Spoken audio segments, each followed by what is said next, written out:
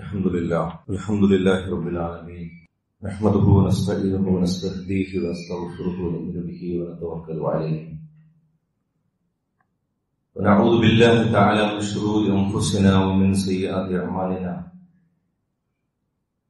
من يهده الله فلا مضل له. ومن يضلله فلن تجد له وليا مرشدا.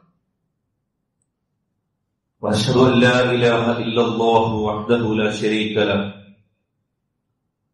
ونشهد أن سيدنا وأسوتنا وحبيبنا محمدا عبده ورسوله. أرسله بالهدى ودين الحق ليظهره على الدين كله ولو كره المشركون. اللهم صل على محمد وعلى آل محمد. كما صليت على إبراهيم وعلى آل إبراهيم. وبارك على محمد وعلى آل محمد كما باركت على إبراهيم وعلى آل إبراهيم في العالمين إنك حميد مجيد. أما بعد، فإن أصدق الحديث كلام الله وأصدق الهدي هدي محمد صلى الله عليه وسلم وشر الأمور محدثاتها وكل محدثة بدعة. وكل بدعة ضلالة وكل ضلالة في النار. عباد الله وإماء الله أوصيكم وإياي أولا بتقوى الله. يا أيها الذين آمنوا اتقوا الله حق تقاته ولا تموتن إلا وأنتم مسلمون. أعوذ بالله السميع العليم من الشيطان الرجيم. بسم الله الرحمن الرحيم. خذ من أموالهم صدقة. صدقة تطهرهم وتزكيهم بها وصل عليهم. إن صلاتك سكن لهم. والله سميع عليم. صدق الله. صدق الله مولانا العلي العظيم. സ്നേഹാദരണീയരായ സത്യവിശ്വാസി വിശ്വാസികളെ സഹോദരി സഹോദരന്മാരെ രഹസ്യവും പരസ്യവുമായ ജീവിതത്തിന്റെ രണ്ട് വശങ്ങളിലും അള്ളാഹു സുബാനോത്തലയോട് തക്കവയുള്ളവരായി സൂക്ഷ്മത പുലർത്തി ജീവിക്കുന്നവരായി മരണം വരേക്കുമുള്ള ജീവിതം മുറുകെ പിടിക്കണമെന്ന് എന്നെയും നിങ്ങൾ ഓരോരുത്തരെയും ഉണർത്തുകയാണ് വസീയത്ത് ചെയ്യുകയാണ്. പടശംബ്രാനവന്റെ സ്വാലിഹുകളും സച്ചരിതരുമായ അടിയാറുകളുടെ കൂട്ടത്തിൽ നാം എല്ലാം ഉൾപ്പെടുത്തി അനുഗ്രഹിക്കുമാറാകട്ടെ. വിശ്വാസിയുടെ സമ്പത്തിൽ നിർബന്ധമാകുന്ന അതിപ്രധാനമായ നിർബന്ധ കാര്യങ്ങളെക്കുറിച്ചാണ് പ്രത്യേകിച്ചും സക്കാത്തിനെ കുറിച്ചാണ് കഴിഞ്ഞ ഒത്തുബയിൽ ചില കാര്യങ്ങൾ നമ്മൾ സൂചിപ്പിച്ച് തുടങ്ങിയത്. വിശുദ്ധ ദീനുൽ ഇസ്ലാം ഓരോ അനുഷ്ഠാന കർമ്മങ്ങളും ചില ലക്ഷ്യങ്ങളെ മുൻനിർത്തി കൂടിയാണ് നിർബന്ധമാക്കിയിട്ടുള്ളത്. അള്ളാഹു അത് നിർബന്ധമാക്കി എന്നുള്ളത് കൊണ്ട് നമ്മളത് ചെയ്യുന്നു എന്നുള്ളതിനേക്കാൾ അത് ചെയ്യുന്നതിന്റെ ഗുണഫലങ്ങളെ കുറിച്ച് ജീവിതത്തിലും സാമൂഹികമായ അന്തരീക്ഷത്തിലും അത് സ്ഥാപിച്ചെടുക്കുന്ന വിശദമായ ഇസ്ലാമിക താല്പര്യങ്ങളെ കുറിച്ചൊക്കെ വിശുദ്ധ ഖുർആൻ അത് സവിസ്തരം അത് വിശദീകരിച്ച് പറയുന്നുണ്ട് എന്തിന് നമസ്കരിക്കുന്നു എന്ന് ചോദിച്ചാൽ അഖമിസ്വലാത്തലി സജീവമായ അള്ളാഹുവിന്റെ സ്മരണ നിലനിർത്തുവാൻ എന്നുള്ളത് തന്നെയാണ് അതിന്റെ ഉത്തരം. മനുഷ്യപ്രകൃതത്തിൽ സജീവമായ സ്മരണ അള്ളാഹുവെക്കുറിച്ചുള്ള ഓർമ്മ മനുഷ്യന്റെ സഹജമായ സ്വഭാവം അനുസരിച്ച് നിലനിൽക്കുന്ന ഒന്നല്ല. പല കാര്യങ്ങളിലേക്കും ആ ഓർമ്മ കുറഞ്ഞു പോകാൻ അതല്ലെങ്കിൽ പാടെ തന്നെ ഇല്ലാതായി പോകാനുള്ള സാധ്യതയുണ്ട്. അതുകൊണ്ടാണ് ഇസ്ലാം അഞ്ചു നേരം നിഷ്കർഷയോടുകൂടി വല്ലാത്ത കണിശതയോടും ഗൗരവത്തോടും കൂടി നിർബന്ധമായി അസലാത്തുൽ മക്തൂബ നിർബന്ധിത നിയമം മൂലം നിർബന്ധമാക്കപ്പെട്ട നമസ്കാരങ്ങൾ വിശ്വാസിക്കുമേൽ ചുമത്തുന്നത് ഇതിന്റെ യഥാർത്ഥ ഗുണഫലങ്ങളെ കുറിച്ച് ആലോചിച്ചാൽ സ്മരണ മാത്രമാണോ എന്ന് ചോദിച്ചാലല്ല. സ്മരണയ്ക്കും അപ്പുറമായ കുറെ കാര്യങ്ങൾ ആ നമസ്കാരം നിർബന്ധമാക്കപ്പെടുക വഴി നമുക്ക് ലഭിക്കുന്നു. അതിൽ പ്രധാനപ്പെട്ടതാണ് വിശ്വാസിയുടെ കൃത്യനിഷ്ഠ എന്ന് പറയുന്നത്. വിശ്വാസിയുടെ ശുദ്ധി എന്ന് പറയുന്നത്. വിശ്വാസിയുടെ സ്വന്തത്തെക്കുറിച്ചുള്ള ആത്മവിചാരണ എന്ന് പറയുന്നത്. ഇതൊക്കെ അള്ളാഹു സുബാനോത്തല എപ്രകാരമാണോ അള്ളാഹുവിനെ കുറിച്ചുള്ള ഓർമ്മ നിലനിർത്താൻ പറഞ്ഞത് അതിന്റെ ഭാഗമായി തന്നെ വിശ്വാസിക്ക് ലഭിക്കുന്നത് അഞ്ചു നേരം നമസ്കാരത്തിൽ ഏർപ്പെടുന്ന ആളുകളെ കുറിച്ച് വിശുദ്ധ ഖുറാൻ പറയുന്നത് ആ നമസ്കാരം അവരെ പലതിൽ നിന്നും തടുക്കുന്നു എന്നാണ്. എങ്ങനെയാണ് നിങ്ങൾ ദുർവൃത്തികൾക്കും പൈശാചിക ചിന്തകൾക്കും അകപ്പെട്ടു പോവുക? നിങ്ങൾക്ക് ഈ അഞ്ചു നേരത്തെ നമസ്കാരം ഉണ്ടെങ്കിൽ. അതാണ് ചോദ്യം. ഇന്ന സ്വലാത്ത തൻഹ അനിൽ ഫഹ്ഷായി വൽ മുൻകർ. മ്ലേച്ഛ വൃത്തികളിലേക്ക് നിങ്ങൾ പോകുന്ന പ്രശ്നമില്ല. തിന്മകളിലേക്ക് നിങ്ങൾ വീഴുന്ന പ്രശ്നമില്ല. എങ്ങനെയെങ്കിൽ ഈ- നമസ്കാരം അതിന്റെ യഥാർത്ഥതം. എപ്രകാരമാണോ അത് നിർവഹിക്കേണ്ടത് അപ്രകാരം നിർവഹിക്കുന്നുവെങ്കിൽ നിങ്ങളെ സംബന്ധിച്ചിടത്തോളം പ്രശ്നമില്ല.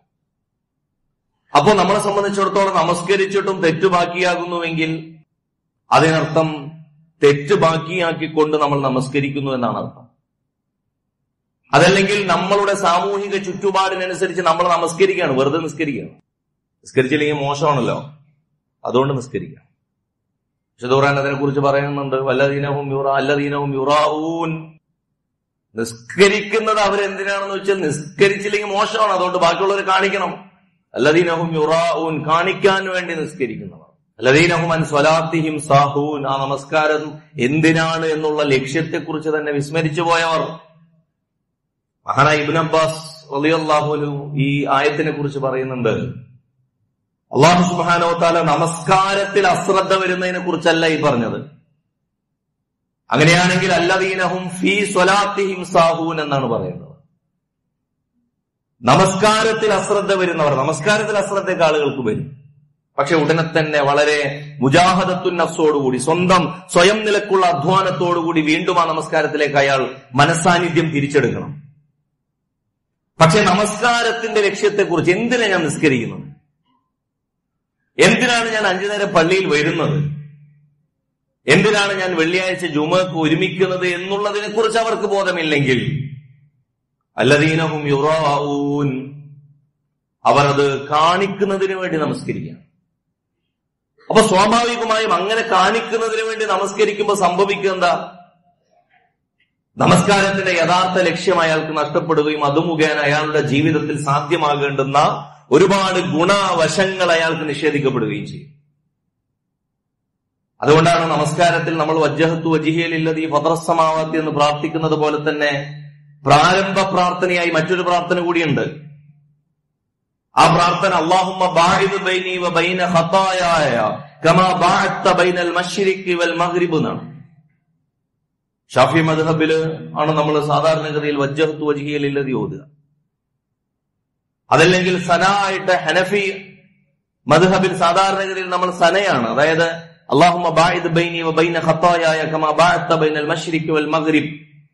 ഈ സന ആണുള്ളത്. ആ പ്രാർത്ഥനയുടെ അർത്ഥം എന്താണ്? അള്ളാഹുവെ എന്റെ തെറ്റിനെയും എന്നെയും കിഴക്കും പടിഞ്ഞാറും എങ്ങനെയാണോ രണ്ട് ധ്രുവങ്ങളിലായി കിടക്കുന്നത്. രണ്ട് ദിക്കുകളിലായി ഇത് ഒരിക്കലും ഒത്തൊരുമിക്കില്ല ഒരുമിച്ചാൽ ഇതിനെ കിഴക്കെന്നും ഒരുമിച്ചാൽ ഇതിനെ പടിഞ്ഞാറെന്നും പറയില്ല. രണ്ട് ഭാഗത്തായാൽ മാത്രമാണ് ഇതിനെ കിഴക്കും പടിഞ്ഞാറും എന്ന് പറയുക. രണ്ട് ഭാഗത്തായി കിഴക്കും പടിഞ്ഞാറും കിടക്കുന്നത് പോലെ എന്നെയും എന്റെ തെറ്റുകളെയും മാറ്റി നിർത്തണം. നമസ്കാരത്തിന്റെ ലക്ഷ്യം ശരിക്കും അതാണ് നമസ്കാരത്തിന് ഏറ്റവും അവസാനം പ്രാർത്ഥിക്കുന്ന അതാണ്.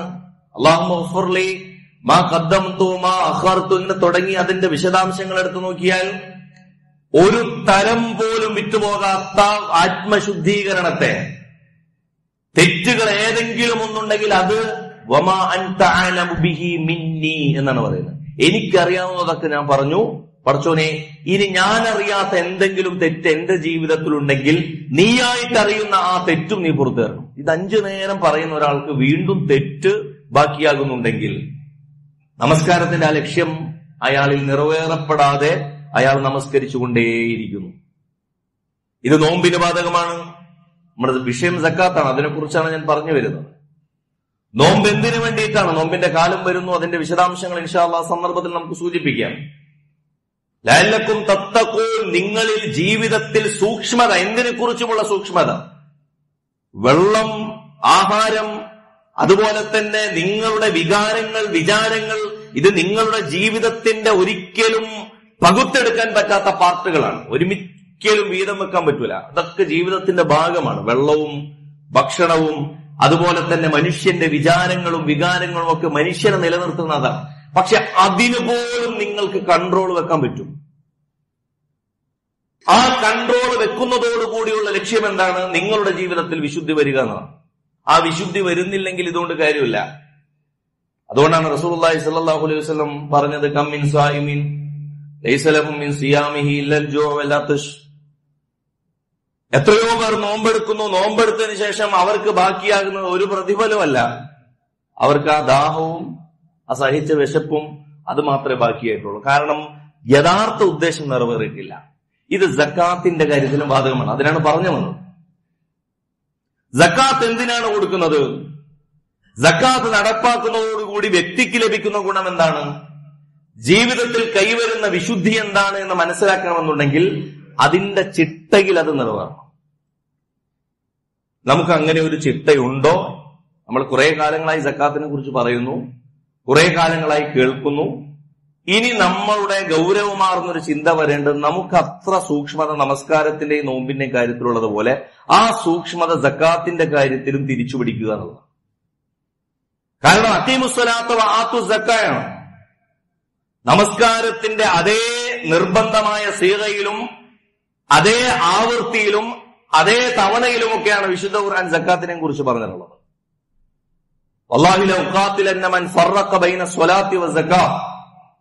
സക്കാത്ത് സ്വലാത്തും തമ്മിലുള്ള വിശദീകരണത്തിൽ ആരെങ്കിലും വല്ല ഭേദഭാവവും പറഞ്ഞാൽ പക്ഷപാതവും പറഞ്ഞാൽ നമസ്കാരമാണ് കുറച്ച് മേലെ നിൽക്കുന്നത് സക്കാത്ത് കുറച്ച് താഴെയാണെന്നൊക്കെ ആരെങ്കിലും പറഞ്ഞാൽ ഞാൻ അയാളോട് യുദ്ധം ചെയ്യുമെന്നാണ് സയ്യിദുന അബൂബക്കർ സിദ്ദീഖ് റളിയല്ലാഹു അൻഹു ആദ്യമായി ഇസ്ലാമിക ലോകത്ത് രിദ്ദത്തുണ്ടായ സമയത്ത്. രിദ്ദത്ത് എന്ന് പറഞ്ഞാൽ റസൂലുള്ളാഹി സല്ലാഹു അലൈഹി വസ്ലമയുടെ വഫാത്തിന്റെ വാർത്ത കേട്ട് പലരും ഇസ്ലാമിൽ നിന്ന് വന്ന പോലെ തിരിച്ചുപോയി. പലരും. പലരും തിരിച്ചുപോയപ്പോ ആദ്യമായി അവർ ഉപേക്ഷിച്ച വിചാരം ഞങ്ങൾ ബാക്കിയൊക്കെ ചെയ്യാം. ജക്കാത്ത് കൊടുക്കൂല. നിസ്കരിച്ചോളാം ഹജ്ജ് ചെയ്തോളാം നോമ്പെടുത്തോളാം. പക്ഷെ സക്കാത്തിന്റെ കാര്യം ഞങ്ങൾക്ക്. അവിടെ നിന്ന് സക്കാത്ത് പിരിക്കാനായിട്ട് ആരൊന്നും വരേണ്ട ആവശ്യമൊന്നുമില്ല. ഞങ്ങൾ വേണമെങ്കിൽ ഈ ഒരു സക്കാത്തിന്റെ ഈ അവശമായ ഈ വിചാരം അതല്ലെങ്കിൽ ഇതിനോട് നേരെയുള്ള അലംഭാവമുള്ള നമ്മളുടെ മനോഭാവം ഇത് സക്കാത്ത് കൊടുക്കുന്നവർക്ക് പോലും ഉണ്ട് എന്നുള്ളത് കൊണ്ടാണ് ഇത് പറയുന്നത്. സക്കാത്ത് കൊടുക്കാത്തവരെ സംബന്ധിച്ചിടത്തോളം അതിന്റെ പ്രാധാന്യത്തെക്കുറിച്ചും ഇല്ലെങ്കിൽ അതിന്റെ ശിക്ഷയെക്കുറിച്ചാണ് പറയേണ്ടത്. അത് അലഹമുല്ല ഞാൻ മനസ്സിലാക്കുന്നു നമ്മളൊക്കെ മനസ്സിലാക്കുന്നു നമുക്കിടയിൽ ജക്കാത്ത് കൊടുക്കുന്നവരുണ്ട്. പക്ഷെ ആ ജക്കാത്ത് കൊടുക്കുന്നത് നമുക്ക് ഇഷ്ടമുള്ള പോലെ കൊടുത്താൽ മതിയോ? അഞ്ചു നേരത്തെ നമസ്കാരം നമുക്ക് ഇഷ്ടമുള്ള പോലെ നിസ്കരിക്കാൻ പറ്റുമോ? സുബഹി മൂന്ന് മകരിബ് നാല് അങ്ങനെയൊക്കെ നിസ്കരിക്കാൻ പറ്റുമോ? ഇല്ലല്ലോ. ഇത് കൃത്യമായി കണക്കുള്ളതും കൃത്യമായി സമയമുള്ളതും ഇത് നിർവഹിക്കാൻ ബാധ്യതയുള്ളതുമാണ്. അതായത് ഒരു വിശ്വാസിയുടെ അവശ്യ വിജ്ഞാനീയങ്ങളിൽപ്പെട്ടതാണ് ഒരു വിശ്വാസി അയാളുടെ എന്ന് പറയുന്ന ഒരു ഭാഗമുണ്ട് ഇസ്ലാമിൽ ഇസ്ലാമിൽ ഒരു മുഗ്മിനായാൽ അയാൾ എന്തു വന്നാലും നേടിയെടുക്കേണ്ടെന്ന കുറെ അറിവുകളുണ്ട്. അതിന് നാളെ അള്ളാന്റെ അടുത്ത് പോയിട്ട് എനിക്ക് അത് അറിയൂലായിരുന്നു എന്ന് പറഞ്ഞിട്ട് കാര്യമില്ല. അതിൽ പെട്ടതാണ് ഈ ഇസ്ലാം കാര്യങ്ങൾ.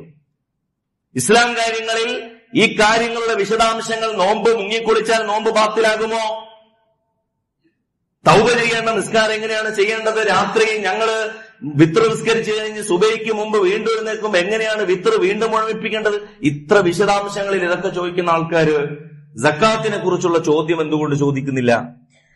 ജക്കാത്തിനെ കുറിച്ച് ഓരോ വസ്തുക്കളെ കുറിച്ചുമുള്ള ഇതെല്ലാവർക്കും വ്യത്യാസപ്പെടുന്നതായതുകൊണ്ട് നമുക്ക് ഹുത്തുവയിൽ ഇത് പഠിപ്പിക്കാൻ ബുദ്ധിമുട്ടുണ്ട്.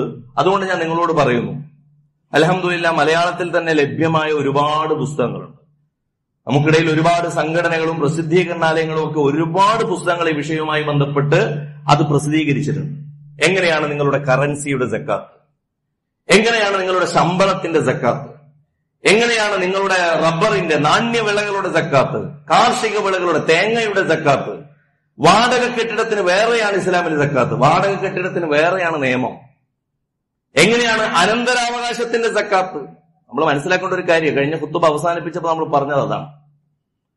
ബാപ്പയും വെല്ലിപ്പയും സക്കാത്ത് കൊടുക്കാത്ത മുതലുണ്ടല്ലോ. അത് അനന്തരാവകാശം തന്നെ വെക്കാൻ പാടില്ല ഇസ്ലാമിൽ. ആദ്യം അതിന്റെ സക്കാത്ത് കൊടുക്കണം.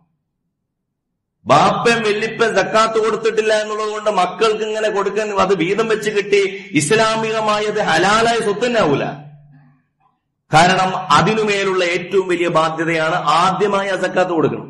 എന്നിട്ട് ഒരു കൊല്ലം എത്തുമ്പോ നാണയമാണെങ്കിൽ സാധാരണഗതിയിൽ ഉപയോഗിക്കുന്ന ഭൂമിയാണെങ്കിലോ പുരയിടമാണ് എന്നുണ്ടെങ്കിലോ കൃഷി ആവശ്യത്തിനുള്ള ഭൂമിയാണെന്നുണ്ടെങ്കിലോ അതിന് മേൽ സക്കാത്തൊന്നുമില്ല കാരണം അത് മനുഷ്യന്റെ അതിൽ നിന്ന് കിട്ടുന്ന വിളകൾക്കും അതിൽ നിന്ന് ഉൽപ്പാദിപ്പിക്കപ്പെടുന്ന സമ്പത്തിനുമാണ് സക്കാത്തുള്ളത് പക്ഷേ നമ്മുടെ നാട്ടിൽ സാധാരണഗതിയിൽ അത് വലിയ തുകകളിലാണ് വിൽക്കപ്പെടാറുള്ളത്. അതുപോലെ തന്നെ ടൗണിലെ കണ്ണായ സ്ഥലങ്ങളൊക്കെയാണ് വീതം വെക്കപ്പെടാറുള്ളത്. ഈ സമ്പത്തിനൊരു സക്കാത്തുണ്ട്. ഞാനിത് ഉദാഹരണമായി പറഞ്ഞതാണ്. ഇതുപോലെ എന്താണ് അനന്തരാവകാശത്തിന്റെ സമയത്ത് ഹുക്കുമുമാൽ മാലിൽ ഇർസ്. എപ്രകാരമാണ് അനന്തരാവകാശ സ്വത്തിന്റെ സക്കാത്തുള്ളത്? ചിലതൊക്കെ ഒരു കൊല്ലം കഴിഞ്ഞ ബാധകമാവുകയുള്ളൂ. കയ്യിൽ കിട്ടിക്കഴിഞ്ഞ് അത് സക്കാത്ത് നേരത്തെ അതിന്റെ ഉടമസ്ഥൻ അതായത് വെല്ലിപ്പയോ വാപ്പയോ ഒക്കെ അതിന്റെ സക്കാത്ത് കൊടുക്കുന്ന ആളാണെന്നുണ്ടെങ്കിൽ അത് കഴിഞ്ഞ പിന്നെ ഒരു കൊല്ലം കഴിഞ്ഞ ബാധകമാവുള്ളൂ ഇപ്രകാരം തന്നെയാണ് സ്വർണാഭരണത്തിന്റെ സക്കാത്ത്. നമ്മുടെ വീട്ടിൽ നമ്മൾ കൊടുക്കുന്ന നമ്മൾ മനസ്സിലാക്കണം വിശുദ്ധ ഖുർആൻ പറഞ്ഞത് വല്ലദീന യക്നിസൂന ദഹബ വൽ ഫിദ്ദ സുമ്മ യുൻഫിഖൂനഹാ ഫീ സബീലില്ലാഹ്. സ്വർണവും വെള്ളിയും പാത്ത് വെക്കുന്നവർ ആ വാക്ക് നമ്മൾ ആലോചിക്കണം. സൂക്ഷിച്ചു വെക്കുന്നവർ. ആഭരണത്തിന്റെ നിത്യോപയോഗത്തിന്റെ ഒരു ഭാഗത്ത് നമ്മൾ അതിൽ നിന്ന് ഒഴിവാക്കിയിട്ടുണ്ട്. ഇസ്ലാമികമായി തന്നെ നിങ്ങൾ എടുത്തു നോക്കിയാൽ അതിന്റെ പരിധിയൊക്കെ കാണാൻ പറ്റും. നിസാബിന്റെ പരിധി വരെ പത്തരപ്പവൻ പവൻ വരെയൊക്കെ ഉപയോഗിക്കാം എന്നൊക്കെ പറയാവുന്ന ആളുകൾ ഫിക്കുകളുണ്ട് പക്ഷെ ഉപയോഗിച്ചുകൊണ്ടിരിക്കുന്ന ആ ആഭരണത്തിന്റെ മൂല്യത്തിന് വരെ കൊടുക്കണമെന്ന് സൂക്ഷ്മമായ അഭിപ്രായപ്പെട്ട പണ്ഡിതന്മാരുണ്ട്. പക്ഷേ അതിന്റെ ഭൂരിപക്ഷം പണ്ഡിതന്മാരുടെയും അഭിപ്രായം നിങ്ങൾ നിങ്ങളുടെ സമ്പത്ത് നമ്മൾ സ്വർണമായിട്ടോ വെള്ളിയായിട്ടോ കയ്യിൽ വെച്ചാലും ഇത് സമൂഹത്തിൽ ഉപകരിക്കേണ്ടുന്ന സമ്പത്താണ്. സമൂഹത്തിൽ പല കാര്യത്തിലേക്കും ഇറങ്ങേണ്ടുന്ന സമ്പത്താണ്. സമൂഹത്തിൽ അതിന്റെ ഒരു സൈക്കിളിന്റെ ഭാഗമായി അതിന്റെ ഒരു സംക്രമണത്തിന്റെ ഭാഗമായിട്ട് സമൂഹത്തിന്റെ കിവാമുൽ അമ്രായ കാര്യമാണ്. അതുകൊണ്ടാണ് ഇസ്ലാമിൽ ജക്കാത്ത് ഈ സ്വർണത്തിനും വെള്ളിക്കും കൂടുതൽ ജക്കാത്ത് വരുന്നത്. സ്വർണത്തിന് പ്രത്യേകിച്ചും ഇങ്ങനെ ഒരു ടാക്സ് വരാനുള്ള കാരണം നിങ്ങൾ അല്ലാത്ത പക്ഷം നിങ്ങളുടെ അത്യാവശ്യത്തിനുള്ള സ്വർണമൊക്കെ കഴിഞ്ഞ് ബാക്കിയുള്ളത് നിങ്ങൾ ഫലപ്രദമായ രീതിയിൽ ഉപയോഗിച്ചോളൂ. അങ്ങനെയെങ്കിൽ അതിൽ നിന്ന് കിട്ടുന്ന ലാഭത്തിന് സക്കാത്ത് കൊടുത്താൽ മതി. അതിൽ നിന്ന് കിട്ടുന്ന വരുമാനത്തിന് സക്കാത്ത് കൊടുത്താൽ മതി. മറ്റേത് നിങ്ങൾ എടുത്തു വെച്ചാൽ ഒരു നൂറ് പവനുള്ള ഒരാൾ ഇങ്ങനെ എടുത്തു വെക്കുക പത്ത് കൊല്ലം. അങ്ങനെയാണെന്നുണ്ടെങ്കിൽ പത്ത് കൊല്ലം കഴിയുമ്പോഴേക്ക് ഇതിൽ നിന്ന് ഒരുപാട് പത്തിരുപത്തഞ്ച് പവൻ കഴി- കഴിഞ്ഞിട്ട് തന്നെ ഉണ്ടാവും. ഇസ്ലാമികമായി സക്കാത്ത് കൊടുത്താൽ തന്നെ കഴിഞ്ഞിട്ടുണ്ടാവും. അതുകൊണ്ട് ഇസ്ലാം പറയുന്നത് ഇങ്ങനെ എടുത്തു വെക്കാനുള്ളതല്ല. അത്യാവശ്യം നിങ്ങൾ നമ്മളുടെ കാലത്തെയും പ്രദേശത്തെയും പ്രത്യേകിച്ച് നമ്മുടെ ജില്ലയിലും ഒക്കെ സമുദായത്തിലെയും ഒക്കെ ഒരു ആഭരണ ഭ്രമം നമ്മളെ എത്തിച്ച ഒരു പതിതാവസ്ഥ എന്താണെന്ന് ചോദിച്ചാൽ ഇതൊക്കെയാണ്. അള്ളാഹിലുള്ള വിശ്വാസം കഴിഞ്ഞ് നമ്മളിപ്പോ ആറ് വിശ്വാസം കഴിഞ്ഞാൽ കതറിലുള്ള വിശ്വാസം കഴിഞ്ഞാൽ പിന്നെ അത് കഴിഞ്ഞാലുള്ളത് സ്വർണത്തിലുള്ള വിശ്വാസം ഇത് അങ്ങനെ ഒരു വിശ്വാസം കൂടിയുണ്ട്. അതാണ് പടച്ചം കൈവിട്ടാൽ നമ്മളെ രക്ഷിക്കാനുള്ളത് സ്വർണമാണെന്നാണ് ആൾക്കാർ വിചാരിച്ചിട്ടുള്ളത്. അതുകൊണ്ട് ഇത് ഇതിങ്ങനെ കെട്ടിപ്പിടിച്ച് വെച്ചാൽ പടച്ചം വിട്ടാലും അപ്പുറത്തുള്ളവന്റെ പണമാണെന്നുണ്ടെങ്കിലും അപ്പുറത്തുള്ളവന്റെ സ്വർണമാണെന്നുണ്ടെങ്കിലും കൊണ്ടുപോയി പണയം വെച്ചോ പലിശക്കെടുത്തോ അതുകൊണ്ട് ജീവിക്കാം. ഇസ്ലാമികമായി അങ്ങനെയില്ല. ഇസ്ലാമികമായി അങ്ങനെ പണയത്തിന് എവിടെയെങ്കിലും വെച്ച് പലിശക്ക് നിങ്ങളെ രക്ഷിക്കേണ്ടുന്ന ഒരു സാധനമായിട്ട് സ്വർണത്തെ നിങ്ങൾക്ക് കാണാൻ സാധിക്കില്ല. അത് നമ്മുടെ സമൂഹത്തിലെ തെറ്റിദ്ധാരണകളുടെ അനവധി ലിസ്റ്റുകളിൽ ഒരു ലിസ്റ്റിലെ ഒന്നാമത്തെ സാധനമാണ്. അപ്പൊ അക്കൂട്ടത്തിൽ നമ്മൾ മനസ്സിലാക്കേണ്ടത് ഇതിന്റെ ഓരോ വിഷയത്തിലെയും ഫത്വകൾ എങ്ങനെയാണ് എന്റെ ഭാര്യയുടെ ഭാര്യയുടെ എന്ന് പറയുമ്പോൾ എന്റെ ഭാര്യയുടെ എന്നൊന്നും പറയണ്ട. ഭാര്യയുടെ തന്നെ സക്കാത്താണ്. എന്റെ ഭാര്യയുടെ സക്കാത്ത് ഞാൻ കൊടുക്കാന്നുള്ളതല്ല ഭാര്യയുടെ സക്കാത്ത് ഭാര്യ തന്നെ കൊടുക്കണം. ഭാര്യമാർ വനിതകൾ സഹോദരിമാർ പ്രത്യേകമായി ശ്രദ്ധിക്കേണ്ട ഒരു കാര്യമുണ്ട്. ഭർത്താവിനോട് അനുവാദം ചോദിച്ചിട്ടൊന്നല്ല സ്വന്തം സമ്പത്തിന്റെ സക്കാത്ത് കൊടുക്കേണ്ടത്. കാരണം നിങ്ങളുടെ സമ്പത്തിന്റെ കാര്യത്തിൽ നിങ്ങളാണ് ഉത്തരവാദികൾ. ഭർത്താവിന്റെ സക്കാത്തിന്റെ കാര്യം ഭർത്താവ് നോക്കിക്കോളും. അപ്പോ ഇപ്രകാരം ഓരോ ലിസ്റ്റും ഓരോ വകഭേദവും എപ്രകാരമാണ് ജക്കാത്തിന് വിധേയമാകുന്നത്? അതിന്റെ ഓരോന്നിന്റെയും അഞ്ച് ശതമാനം ബാധകമായതുണ്ട് രണ്ടര ശതമാനം ബാധകമായതുണ്ട്. അതുപോലെ തന്നെ കാർഷിക വിളകളാണെങ്കിൽ നിശ്ചിത സമയമെത്തുമ്പോഴും നിശ്ചിത പരിധി എത്തുമ്പോഴും അന്നേക്ക് തന്നെ ബാധകമാകുന്നതുണ്ട്. ഇത് നമ്മൾ നമസ്കാരം പഠിച്ചതുപോലെ നിസ്കാര കണക്കൊക്കെ നമ്മൾ പഠിക്കാറുണ്ട്. ഇതുപോലെ സക്കാത്തിന്റെ കണക്കും എന്റെ പ്രിയപ്പെട്ട സഹോദരന്മാരും സഹോദരിമാരും പഠിക്കണം. അത് നമ്മളുടെ ദീനിലെ വാജിബായ ഒരു കാര്യമാണ് വാജിബായ ഒരു കാര്യമാണ്. മറ്റൊന്ന് ഇതിന്റെ ഒരു ഗുണഫലമാണ്. ഇങ്ങനെ നമ്മൾ ചെയ്യാൻ തീരുമാനിച്ചാൽ ഇതെന്ത് നമ്മളുടെ ജീവിതത്തിൽ ഗുണമുണ്ടാക്കും? അത് നമ്മളുടെ ജീവിതത്തിന് ഒരു സാമ്പത്തികമായ അച്ചടക്കം കൂടി ഉണ്ടാക്കും. അതാണ് ഇതിന്റെ ഏറ്റവും പ്രധാനപ്പെട്ട ഒരു ഗുണഫലം. സാമ്പത്തിക അച്ചടക്കം ഉണ്ടാക്കാൻ വേണ്ടിയിട്ടല്ല ജക്കാത്ത് പക്ഷേ ജക്കാത്ത് നിങ്ങൾ നിർവഹിക്കാനുള്ള മനസ്സ് കാണിക്കുന്നതോടുകൂടി നിങ്ങളുടെ ജീവിതത്തിലെ എന്നും ഒരു കംപ്ലീറ്റ് ഓഡിറ്റ് ലിസ്റ്റ് നിങ്ങളുടെ മുമ്പിലുണ്ടാവും. ഒരു കൊല്ലത്തിൽ ഇപ്പൊ നമ്മൾ പലപ്പോഴും അനുഭവിക്കുന്ന ഒരു പ്രശ്നം. ഓരോരുത്തരും മരണപ്പെട്ടു കഴിഞ്ഞാൽ മരണപ്പെട്ട ആൾക്ക് വേണ്ടി അയാളുടെ പ്രശ്നം പരിഹരിക്കാൻ വേണ്ടിയിട്ട് കമ്മിറ്റി ഉണ്ടാക്കലാണ് ഇപ്പൊ പണി. നമ്മൾ മനസ്സിലാക്കേണ്ട ഒരു കാര്യമാണ് ഇയാൾക്ക് എത്ര കടമുണ്ടായിരുന്നു. ഇയാൾക്ക് എത്ര പേര് കടം കൊടുക്കാനുണ്ട് തിരിച്ചു കൊടുക്കാനുണ്ട്. ഇയാൾക്ക് എത്ര ബാധ്യതയുണ്ട്. ഇതൊന്നുമില്ല. എത്ര കടം വാങ്ങി എത്ര വരുമാനമുണ്ട്. എത്ര ഇയാൾക്ക് ചെലവുണ്ട്. ഇയാളുടെ ആവശ്യമായി അയാളുടെ മക്കളുടെ ഫീസിലും ഇതിലുമൊക്കെ അയാൾ ചെലവഴിച്ചുകൊണ്ടിരിക്കുന്ന കാര്യമെന്ത്? ഇതൊന്നും അറിയാത്തൊരവസ്ഥയിലാണ് പലപ്പോഴും നമ്മളുടെ സുഹൃത്തുക്കൾ അടക്കമുള്ള കാര്യങ്ങളുടെ കാര്യത്തിൽ നമുക്ക് അങ്ങനെ ഇടപെടേണ്ടി വരാറുണ്ട്. ഒരു കണക്കുണ്ടാവില്ല നമ്മൾ ആദ്യം മനസ്സിലാക്കേണ്ടത് ജക്കാത്തിന്റെ കാര്യത്തിൽ ഇസ്ലാമിൽ കടത്തിന്റെ കാര്യത്തിലും ജക്കാത്തിന്റെ കാര്യത്തിലും ഈ കണക്ക് വളരെ കണിശമാണ്. വളരെ കണിശമാണ്. ഇങ്ങനെ ഒരു കണിശത ഉണ്ടെങ്കിൽ നമുക്ക് ഒരു മാസം നമ്മളുടെ വരവെന്ത് ഒരു മാസം നമ്മളുടെ ചെലവെന്ത്? നമുക്ക് ഒരു കൊല്ലം കഴിയുമ്പോൾ എന്ത് നീക്കിയിരിപ്പുണ്ട്? എന്ത് സ്വർണത്തിൽ നീക്കിയിരിപ്പുണ്ട്? എന്ത് കറൻസിയിൽ നീക്കിയിരിപ്പുണ്ട്? എന്താണ് നിസാബിനോളം എത്തുന്ന ഒരു നീക്കിയിരിപ്പ് നമുക്കുണ്ടോ? ഇത് സക്കാത്ത് നമ്മുടെ ചില ആളുകളുടെ ഒരു തെറ്റിദ്ധാരണ. എനിക്ക് എന്തോന്നാലും സക്കാത്ത് ഉണ്ടാവാൻ ധാരണയില്ല. ഒരു ഒരു തരത്തിലും സാധ്യതയില്ല. അതുകൊണ്ട് ഞാൻ സക്കാത്ത് കാൽക്കുലേറ്റ് ചെയ്യേണ്ടെന്നാണ് കുറെ ആളുകളും ധരിച്ചിരിക്കുന്നു. അങ്ങനെയല്ല. ചിലപ്പോൾ നല്ല സമ്പത്തുള്ള ഒരാൾക്കും ചിലപ്പോൾ സക്കാത്ത് കൊടുക്കേണ്ടുന്ന അവസ്ഥ ഉണ്ടാവില്ല ഇങ്ങനെയൊക്കെ എടുത്ത് നോക്കിയാൽ തന്നെ ചില വർഷങ്ങളിൽ ആ കണക്കെടുത്ത് നോക്കുമ്പോൾ ചിലപ്പോൾ ടാലിയാക്കി നോക്കുമ്പോൾ നിസാബിനപ്പുറം അത് കടന്നിട്ടുണ്ടാവില്ല പക്ഷെ നമ്മൾ കരുതേണ്ട ഒരു കാര്യം ചിലപ്പോ സാധാരണഗതിയിൽ നമ്മൾ എനിക്ക് ജക്കാത്ത് ബാധകമല്ല എന്ന് കരുതുന്നവർക്ക് പോലും ഈ കണക്കെടുത്ത് നോക്കിയാൽ ജക്കാത്ത് കൊടുക്കേണ്ടുന്ന അവസ്ഥ ഉണ്ടാകും. അയാളുടെ ഇന്ന് മരണപ്പെട്ടു പോയാൽ പോലും ഇന്ന് നമ്മൾ ആ നിന്ന നിൽപ്പിൽ മരണപ്പെട്ടു പോയാൽ പോലും അയാളുടെ സാമ്പത്തിക ജീവിതത്തിന്റെ ഒരു ശുദ്ധമായ ഒരു ഒരു എന്താണ് ഒരു ബാലൻസ് ഷീറ്റ് ഒരു ബാലൻസ് ഷീറ്റ് ആണല്ലോ. നിലവിൽ എന്ത് സംഭവിച്ചു എന്ന് നമ്മൾ ഒരു കമ്പനീനെ കുറിച്ചോ ഒരു ബിസിനസിനെ കുറിച്ചോ അറിയാൻ വേണ്ടിയിട്ട് ചോദിക്കുക. എന്താണ് ബാലൻസ് ഷീറ്റ് എന്താണ് നീക്കിയിരിപ്പ്? എന്താണ് ഇതിന്റെ ഈ കൊല്ലത്തിന്റെ തുടക്കത്തിൽ എന്ത് ബാക്കിയുണ്ടായിരുന്നു? ഇത് ഓരോ വ്യക്തിയും ഓരോ ദിവസം ചെയ്യേണ്ടതാണ്. ഒരു കൊല്ലത്തിൽ നിർബന്ധമായി ചെയ്യാൻ അയാളെ ഇസ്ലാം ഏൽപ്പിക്കുന്ന ഒരു പ്രക്രിയയുടെ പേരുകൂടിയാണ് ജക്കാത്ത് എന്ന് പറയുന്നത്.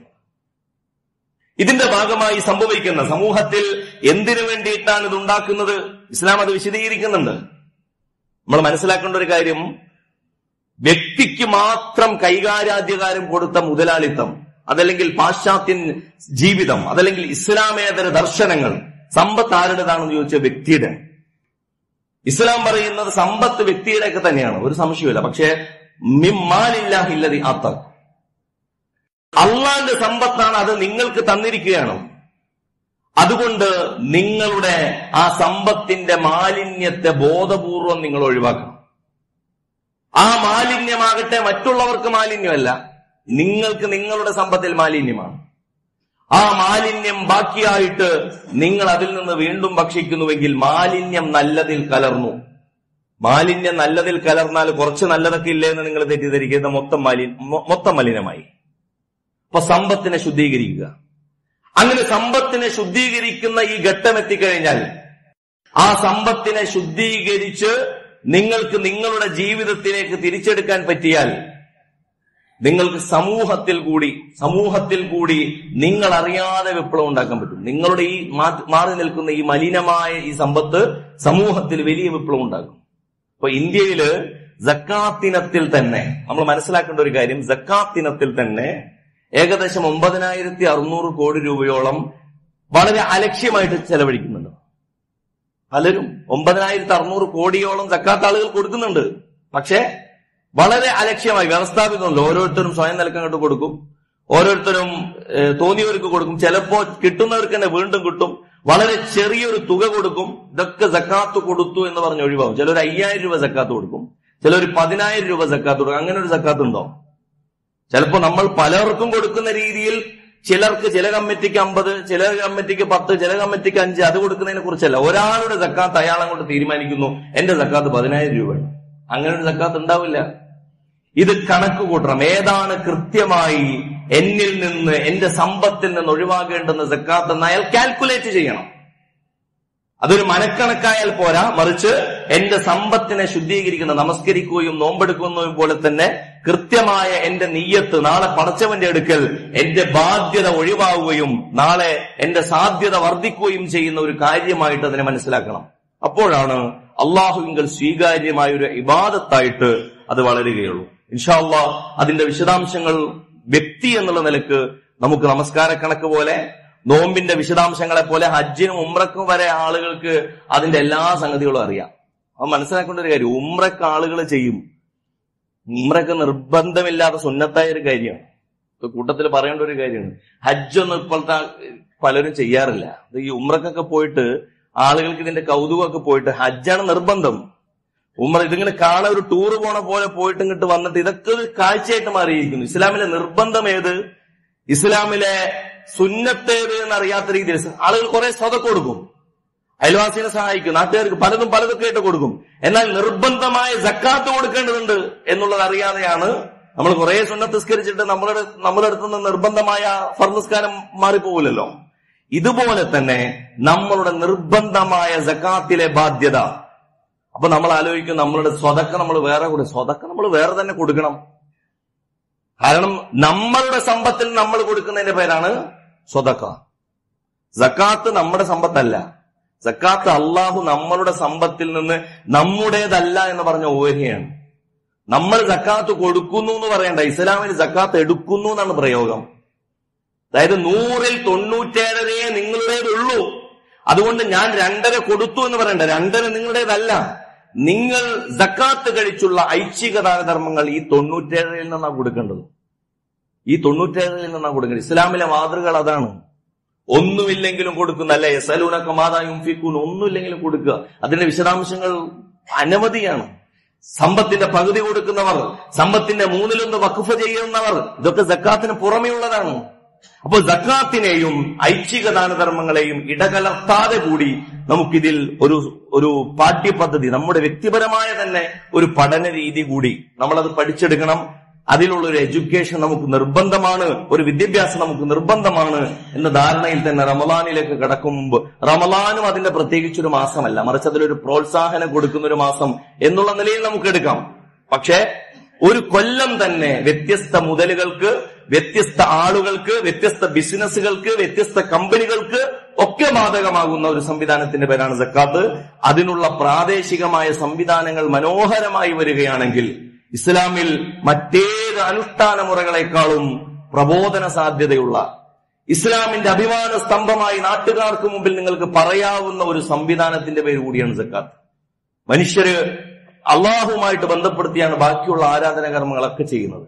ജക്കാത്തിൽ അള്ളാഹുവോടും അതേസമയം സഹജീവികളോടും നമ്മൾ ഇടപെടുകയാണ്. അതിന്റെ റിഫ്ലക്ഷൻ അതിന്റെ പ്രതിഫലനം സമൂഹത്തിൽ നേരിട്ട് ഈ പറഞ്ഞ എട്ട് വിഭാഗങ്ങളിൽ പ്രതിഫലിക്കുകയാണ് എന്നാണ് വിശുദ്ധ ഖുർആൻ പറയുന്നത്. അതുകൊണ്ട് ആ നിലയിലുള്ള വിശദാംശങ്ങൾ നമ്മൾ പഠിച്ചേ തീരൂ എന്നുള്ളത് റമദാനിലേക്ക് പ്രവേശിക്കുന്നതിന് മുമ്പുള്ള ഒരു ശപഥമായി പ്രതിജ്ഞയായി നമ്മൾ എടുക്കുക. അള്ളാഹു നമുക്ക് തൗഫീക്ക് നൽകി അനുഗ്രഹിക്കുമാറാകട്ടെ. കൂടുതൽ അള്ളാഹുവിലേക്ക് സമീപസ്ഥരാകാൻ അള്ളാഹു നമുക്ക് തൗഫീക്ക് നൽകി അനുഗ്രഹിക്കുമാറാകട്ടെ നമ്മുടെ വീഴ്ചകൾ അള്ളാഹു നമുക്ക് പുറത്ത് മാപ്പാക്കി തരുമാറാകട്ടെ നമ്മിൽ നിന്ന് മരണപ്പെട്ടു പോയവർക്ക് അള്ളാഹു മഹഫുറത്തും റഹമത്തും നൽകി അനുഗ്രഹിക്കുമാറാകട്ടെ അവരെയും നമ്മയും അവന്റെ ജന്നാത്തുൽ ഫിർദൌസിൽ ഒരുമിച്ച് കൂട്ടുമാറാകട്ടെ അൽഹംദുലില്ലാ الحمد لله الأحد الفرد الصمد الذي لم يلد ولم يولد ولم يكن له كفوا أحد اللهم صل وسلم وبارك على رسولك محمد وعلى آل محمد كما صليت وسلمت وباركت على إبراهيم وعلى آل إبراهيم في العالمين إنك حميد مجيد عباد الله وإماء الله أوصيكم وإياي ثانيا بتقوى الله يا أيها الذين آمنوا اتقوا الله حق تقاته ولا تموتن إلا وأنتم مسلمون പ്രിയ സഹോദരങ്ങളെ ഒരിക്കൽ കൂടി അള്ളാഹുവിന്റെ വിധിവിലക്കുകൾ പാലിച്ച് ജീവിക്കാൻ എന്നെയും നിങ്ങളെയും ഉണർത്തുകയാണ് നമസ്യം ചെയ്യുകയാണ് അള്ളാഹുവിന്റെ പ്രിയപ്പെട്ട അടിയാറുകളുടെ കൂട്ടത്തിൽ നമ്മൾ ഉൾപ്പെടുത്തി അനുഗ്രഹിക്കുമാറാകട്ടെ കേരളത്തിലെ എല്ലാ മതസംഘടനാ നേതാക്കളും ഒരുമിച്ച് ഇന്നൊരു പ്രസ്താവന നടത്തിയത് നിങ്ങളുടെ ശ്രദ്ധയിലുണ്ടാകും. ബഹുമാന്യനായ അബ്ദുൽ നാസർ മാദനിയുടെ ആരോഗ്യാവസ്ഥ വളരെ മോശപ്പെട്ടൊരവസ്ഥയിലാണുള്ളത് എന്നാണ് അവർ സംയുക്തമായി അറിയിച്ചിട്ടുള്ളത്. വെള്ളിയാഴ്ച ജുമായിൽ പ്രാർത്ഥിക്കണമെന്ന് പ്രത്യേകം ആവശ്യപ്പെട്ടിട്ടുണ്ട്. അള്ളാഹു അദ്ദേഹത്തിന് ശിഫ നൽകി ശമനം നൽകി അനുഗ്രഹിക്കുമാറാകട്ടെ. പൂർണ ആരോഗ്യം വീണ്ടെടുക്കാൻ പറ്റുന്ന മഹത്തായ തോഫീക്ക് നൽകി അള്ളാഹു അനുഗ്രഹിക്കുമാറാകട്ടെ ഫലസ്തീനിലെയും മറ്റും ഗസയിലെയും മറ്റും വർത്തക വർത്തമാനങ്ങൾ വരുന്നതും നമുക്ക് ഒട്ടും വളരെ ഹൃദയഭേദകമായ വർത്തമാനങ്ങളാണ് വരുന്നത്. റഫ അതിർത്തിയിൽ ഒരുമിച്ച് കൂടിയിട്ടുള്ള പത്ത് പതിനാല് ലക്ഷത്തോളം വരുന്ന ആളുകൾ ഇസ്രായേലിന്റെ ബോംബിംഗ് വർഷം പ്രതീക്ഷിച്ചാണ് നിൽക്കുന്നത് എന്നുള്ളതാണ് കഴിഞ്ഞ രണ്ടു മൂന്ന് ദിവസത്തെ റിപ്പോർട്ടുകളുള്ളത്. ജനങ്ങൾക്ക് ഭക്ഷണമില്ലാത്ത അവസ്ഥയാണ്. കാലിത്തീറ്റകളൊക്കെയാണ് കുട്ടികൾ കഴിക്കുന്നതാണ് നമ്മൾ അറിയുന്നത്. നമ്മൾ അറിയേണ്ട ഒരു കാര്യം നമ്മുടെ വല്ലാത്ത പ്രാർത്ഥനകൾ അതേസമയം നമ്മുടെ ഒരു ഐക്യഭാവം അള്ളാഹ് അവരെ കുറിച്ചുള്ള കരുതൽ അവർക്ക് വേണ്ടിയുള്ള പ്രാർത്ഥനയൊക്കെ ഉണ്ടാവേണ്ട സമയമാണ് അള്ളാഹു അവർക്ക് ആസന്നമായ തുറവിയും നൽ- വിജയവും ശാന്തിയും നൽകിയവരെ അനുഗ്രഹിക്കുമാറാകട്ടെ മുസ്ലിം ലോകത്തിന് സമീപസ്ഥമായ ഏറ്റവും നല്ല ഭാവി നൽകി അള്ളാഹു അനുഗ്രഹിക്കുമാറാകട്ടെ അള്ളാഹു നമ്മുടെ വീഴ്ചകൾ നമുക്ക് പുറത്തു മാപ്പാക്കി തരുമാറാകട്ടെ നമ്മുടെ കഴിവുകൾ വർദ്ധിപ്പിച്ചു തരുമാറാകട്ടെ അള്ളാഹു المؤمنين والمؤمنات والمسلمين والمسلمات الأحياء منهم والأموات إنك مجيب الدعوات يا قاضي الحاجات اللهم ربنا آتنا في الدنيا حسنة وفي الآخرة حسنة وقنا عذاب النار. اللهم ربنا ظلمنا أنفسنا وإن لم تغفر لنا وترحمنا لنكونن من الخاسرين. اللهم يا ربنا بلغنا شهر رمضان ووفقنا فيه بالصيام والقيام وتلاوة القرآن.